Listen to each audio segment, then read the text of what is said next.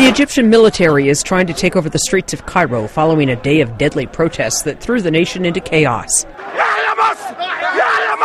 Tanks are on the street in the capital where demonstrators have been chanting against President Hosni Mubarak and destroying images of him. They've also set fire to the ruling party's headquarters and began looting it. Mubarak is the chief subject of the protesters' ire. They're demanding he step down as president. However, the demonstrations were anything but peaceful. Police fired tear gas and rubber bullets into the crowd, which retaliated with rocks and other items. Later, the military was dispatched after protesters defied a nationwide curfew.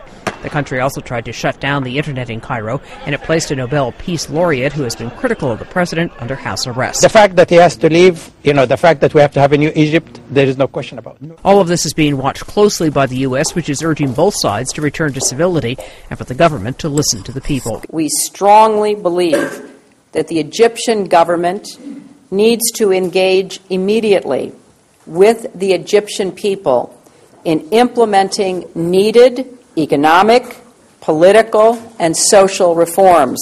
The unrest began when tens of thousands of people poured into the streets after noon prayers in the mosques, and these are just the latest protests that have been sweeping across North Africa and the Middle East. Diane Kepley, The Associated Press.